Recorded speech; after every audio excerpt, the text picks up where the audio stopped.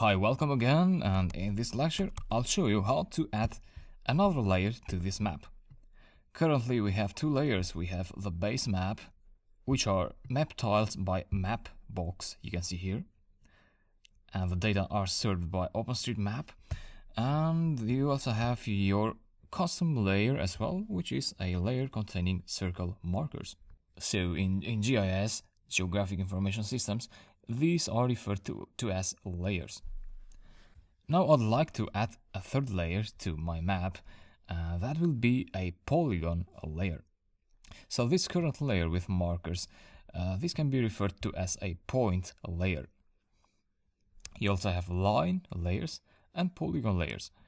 Um, so with points, points are better to represent locations and you have lines. Lines are best for representing geographical features which resembles lines such as roads and rivers. And then we have polygons. Polygons are best to represent areas. So for instance, uh, in this uh, lecture, what I'll show you is how to add a layer, a polygon layer that represents world population uh, by country. Uh, so countries are represented as areas. And what we're going to do is each of the countries will have a specific color which will indicate the population of that country.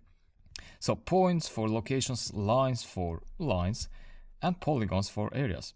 Now, of course, you need to have some data to create a polygon layer. You know, just like as we did with markers, we had some uh, data in CSV in, in text format. And then we use those data, we open them with pandas, and then we iterated through those lines of the data and we added the markers to the map.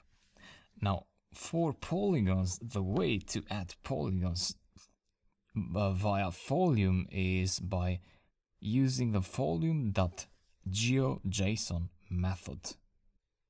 So basically, let me make some space here. The way this would work is you want to add to feature group the variable here. You want to add a child which will be a folium.geojson object. So this is the method with brackets here that creates a GeoJSON object. And for GeoJSON data, we will use this world.json file. You can find this attached in this lecture. Uh, let me explain what this is, but careful, don't open it on an Atom because if your computer is a bit slow, yeah, your atom may crash. So try to open it with a lighter editor, such as Notepad, for instance, or Cat on on uh, Linux terminal or Mac. Anyway, this is the JSON file. Uh, you can refer to it as JSON or GeoJSON.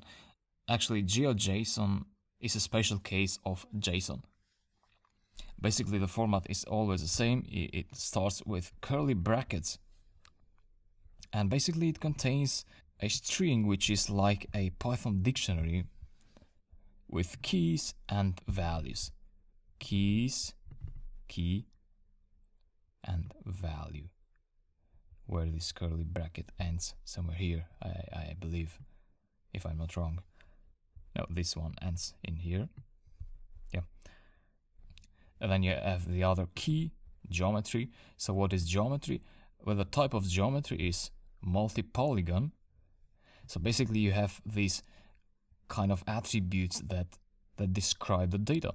Type multi-polygon core coordinates. So this is now starting to describe the features the polygons. So these are the, the coordinates of the first polygon that will be displayed on the map. Uh, let's say this is one specific country, and that's uh, that's that's Antigua and Barbuda. Yeah, a small country, but anyway.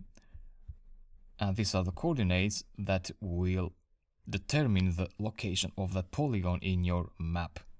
So uh, basically, folium will read all this information and it will decide where to put the polygons and then you can also use other attributes of this such as population, which is here. Yeah, you'll use this population value to put a color for that population. And so on and so forth. You have all countries of the world in this JSON file. So spend a few minutes looking at this file to understand its structure and in the next lecture I'll go ahead and load the JSON file into Python and display the polygon layer. See you there.